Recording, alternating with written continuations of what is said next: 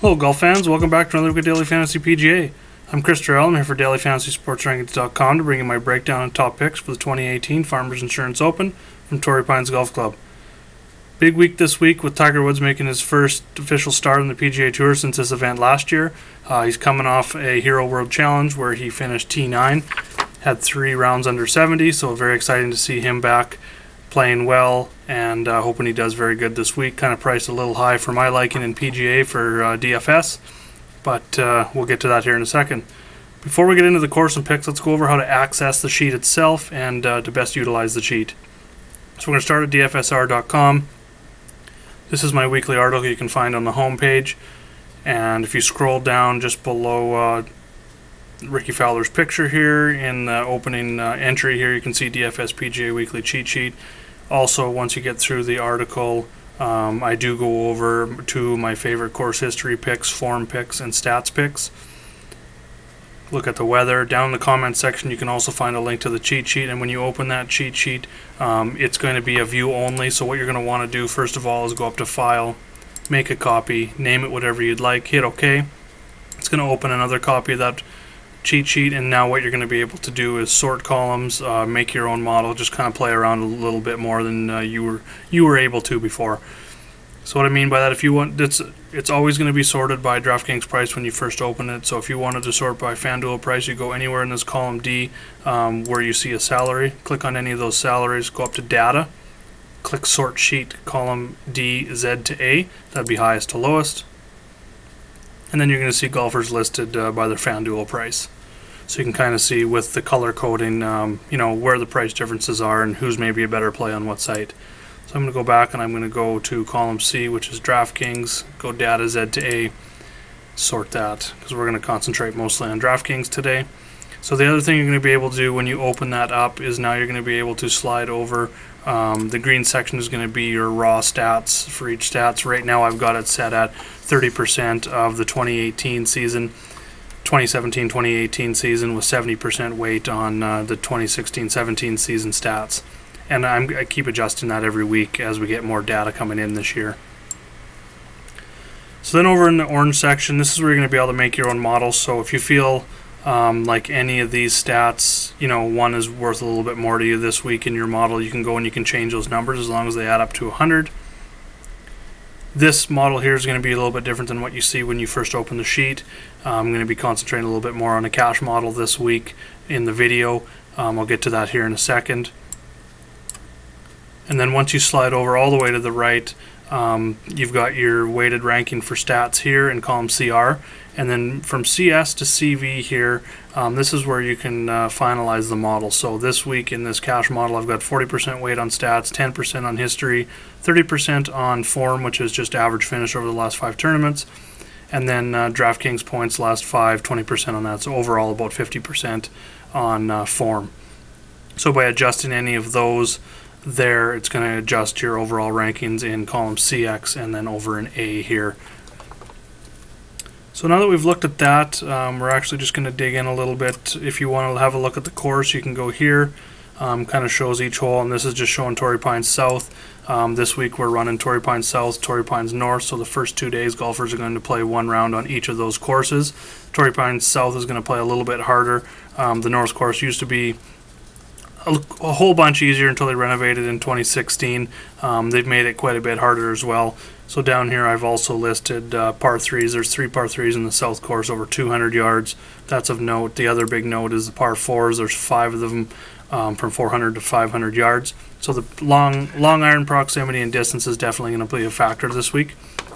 And then as you see, two of the par 5s are over 600 yards as well. So I'm going to be looking at some par 5 scoring um, and how I kind of determined that. I looked at the last Five years results, final scores. As you can see, it's not too high, but a lot of the scoring, most of the scoring, as you can see, 44.9% um, of the overall birdies in the tournament last year on the South Course, which there's three rounds played on the South Course, came on the par fives. So just four of the holes made up 44% of the birdies and that trend continues as we go through 45%, 45% in 2015 again, 2014 we saw 40%, and then uh, 48% in 2013. So par 5 scoring is definitely going to be in my model this week as well. So in this week's video, like I said, I'm going to concentrate my picks um, on my targets for cash games. And cash games are your 50-50s, your double ups, your head-to-heads. But in cash game lineups, it's just going to be a little bit different than building GPP lineups. We're not necessarily looking for the big upside, but rather looking for steady players who make the cut. Last week was a little bit different animal, um, just because they played three rounds with a 54-hole cut on Saturday, so the scores were a little bit higher. So we we needed a little more upside in our cash game lineups. This week we're back to um, cut on Friday, 36-hole cut. So likely getting six of six guys through the cut, you're going to be cashing in your in your uh, cash game lineups especially your 50-50s and double ups. G, uh, head-to-heads are a little bit more geared towards still it's only you know it's one versus one but still you're going to need a little bit of upside depending on what players your uh, your opponent has picked. So every opponent's going to be a little bit different that way. All right something else i tend to do more often than not in these regular events is go with a more balanced lineup in cash games and avoid the 10k plus players if possible avoiding the you know the stars and scrubs. I am going to discuss um, both strategies here in this video as well. Um, but there is times I will go with a heavy stars and scrubs cash game lineup, and most of the time when that's going to be optimal is going to be your uh, your four majors for sure. When there's a little bit softer pricing and a lot of elite players in the field. So when narrowing down my pool for cash games, I also like to adjust my model a little bit. Um, as you can see, it was a little bit different than uh, what it looked like when you first downloaded the sheet. So the first thing I did uh, this week, and I'm just kind of you know been playing with this a little bit, is I swapped the weights for bogey avoidance and birdie or better percentage, just because we're not looking for as much um, upside. Plus, this is a tournament where the scores are you know around that minus 10, minus minus 10, minus 11 range. It was minus 13 last year, but uh, we're looking for guys that are you know not going to make bogey and are going to stay in the tournament to make that six of six. So I've also added weight to scoring average before the cut. Um, I feel that's important just to see how well a player does in the first two days of, of tournaments on average. Got weight on par 5 scoring. I've got weight on the long iron proximity. And then the other thing I've got more is I kind of swapped um, strokes gain approach and strokes gain around the green. Um, fairways are usually around 50% here on Torrey Pines South um, for you know average fairways that are hit. So there's going to be a lot of shots that do miss the green. So I think getting up and down and having a good strong around the green game is going to be key, especially for cash games. Um, guys look trying to get six to six through the cut.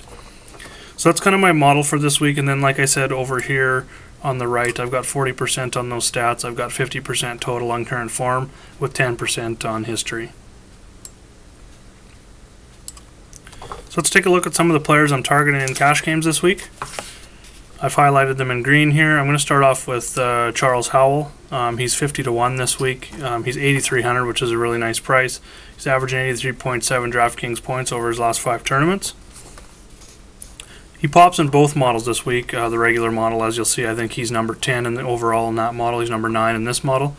Um, he's made the cut 15 out of 15 times here at Torrey Pines with seven top 10s, including twice in the last three years. He's two for two in cuts made in 2018. Um, we'll slide over here and just look at the current form. You can see the history in the current form here.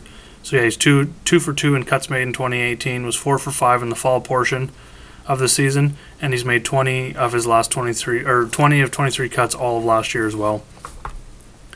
So then just kind of looking at the stats as well.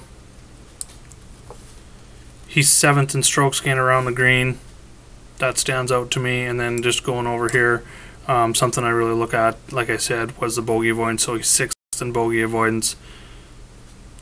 Or sorry, yeah, sixth in bogey avoidance, and then ninth in scoring average before the cut. So with a price, you know, in that low 8K range, I'm going to have a lot of Chucky in my cash game lineups this week. Next up, we got Tony Finau. He's number two in my overall model, uh, cash game model this week. Also comes with a very attractive price under 9K just like Howell. Um, he doesn't have as many rounds here at Torrey Pines, but he's also got great course history. I'm going to slide back and have a look at that. He's gotten better every year. Started out with a T24 in 2015, T18 in 2016, and a T4 last year. He's had more than enough distance to get around the track. He's number one in uh, driving distance. I don't include driving distance in my models just because it's kind of a flawed stat on the PGA Tour stats because they only look at two holes um, every round so they don't really have a whole collection of their driving average driving distance on all the holes. So um, we, we all kind of know who, who the driving distance guys are. So I'm just kind of looking for guys kind of. It's not crucial to have the driving distance, but it's sure going to help on this track at 7,700 yards. He's 21st, 18th, and, and 21st in proximity from that 175 to 200 and 200 plus ranges, as you can see here. He's 9th in par 5 scoring, 14th in scoring average before the cut, and 23rd in bogey avoidance. And he also has a ton of upside to boot, ranking 18th in birdie or better percentage. The form has also been there this year. As he's made all five cuts to start the 2017 2018 season, um, with his worst finish at T32 at the Sony Open. Looking back even further, he hasn't missed a cut in 18 straight tournaments, dating back to the Players last June. Next player up, I got uh, Brendan Steele. He's number 10 in my cash game model this week. He's 4 for 4 in cuts made in 2017, 2017-18, including a win at the Safeway Open to open the year. Um, a little bit of an asterisk on that as he played poorly at the no cut event Tournament of Champions. Finished, I believe, um, as you can see here, 29th. So that's I believe there was 32 in that field. So pretty much close to last place in that tournament. So um, just keep that in mind when you're looking at uh, some of that. To maybe go to PGATour.com, just look up the player profile for that information. He's also got nice course history. He's made six to seven cuts here in his career, including five straight. And finally, he stands out statistically, ranking top 25 in both strokes gain off the tee and approach. Averages over 300 yards off the tee. He's 12th in par 4 scoring, 40th in par 5 scoring, and is top 30 in both um, scoring average before the cut and bogey avoidance. So stands out for me there as well. And again, he comes in under 8K, so very attractive price to you know jam all three of those guys in um, at you know the average salary. You're gonna have a nice balanced cash game lineup. Next up, I got Kevin Streelman highlighted. Uh, he's 19th in my cash game this week. He's 7,500, so great price there again. He's 80th in odds, or sorry, 80 to 1 in the odds, um, 74. So looking at the DK points last five in this range here, as you can see, he's kind of the leader until you get down to my next pick, Kyle Stanley, but we'll get to that in a second.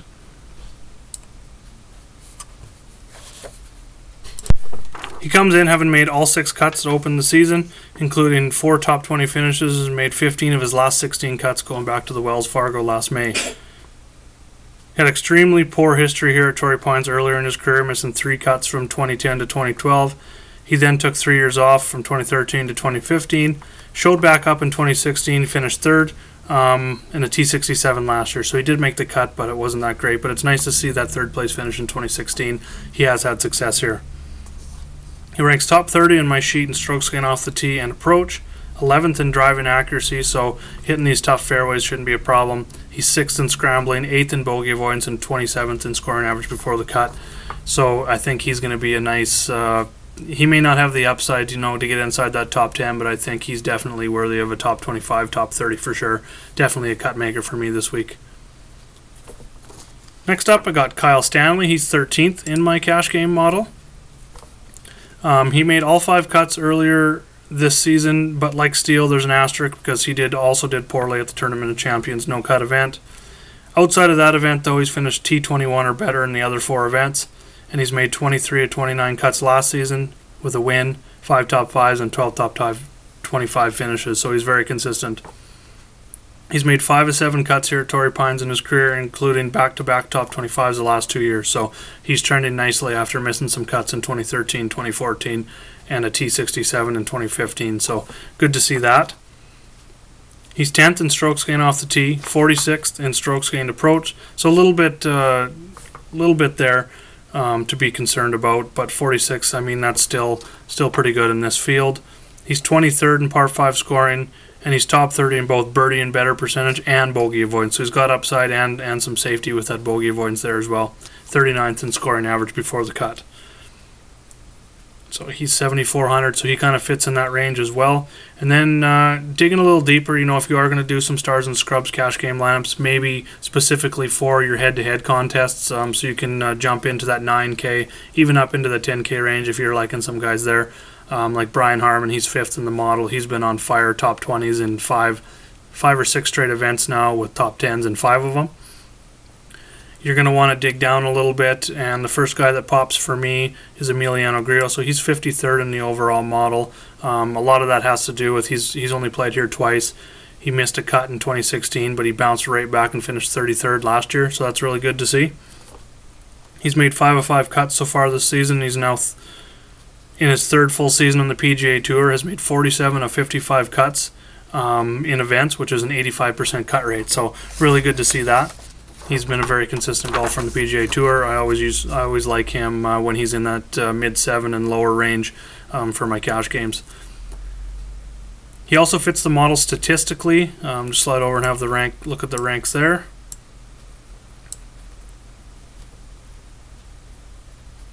He's 18th um, off the tee, and while he ranks down in 69th in strokes gain approach, as you can see here, um, you slide over and have a look at the proximity. He's 14th in 150 to 175, 22nd from 175 to 200, and 34th from 200 plus. So his proximity gets a little bit better as you go from you know the shorter holes um, to some of these longer when he when he's needing his longer iron. So that's that's a positive there to see that for sure. And the risk comes with him as he sits 73rd in bogey avoidance and 75th in birdie or better percentage and 77th in scoring average before the cut. So there's a little bit of risk there, but at 7,000. Um, I think he's nice. Even looking at the odds here, he is like you're looking at your DK. Um, we're going to get into this in a second and look at a few picks of this, but looking at uh, column BG there, the DK dollar to odds differential, he's a plus 33, which is really nice to see at 100 to 1. So he's 74th in salary, 41st in odds. Good to see there. So the last guy on my list, seen a big drop in salary this week. He's a risk reward play for stars and scrubs cash games. It's Chesson Hadley. He's number eight in my overall model this week. He is also at 100 to 1, and he's a plus 59 when looking at your DK dollar to odds differential. He started the year with three straight top fives before withdrawing at the OHL. Um, sick. He did make the cut in that event, though. Since then, he's finished T37 at the RSM, T42 at the Career Builder Challenge last week. He's only played here twice with nothing special for history. He missed the cut in 2014. T58 in 2016, but he is quite a bit different of a player this year now that he's back on the PGA Tour. Um, so I think that's that's positive to see that he has made a cut here in the past. Statistically is where he really stands out. He's 22nd off the tee. He's first in strokes gained approach, fourth in strokes gained putting this year so far, 16th in both par 4 and 5 scoring, 8th in overall proximity, and third from that 175 to 200 first overall on the sheet in birdie or better percentage, and fifth in bogey avoidance.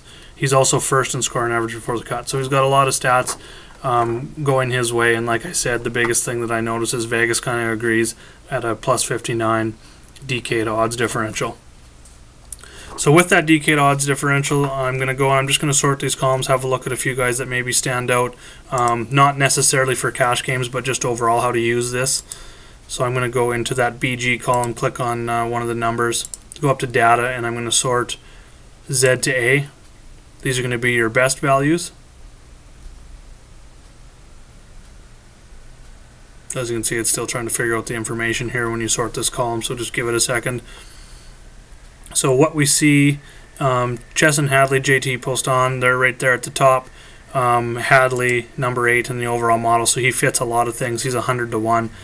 97th in DraftKings salary and 41st in odds. So there's quite a bit of a gap there. So you can kind of look at a few of these guys, um, check out some values that way.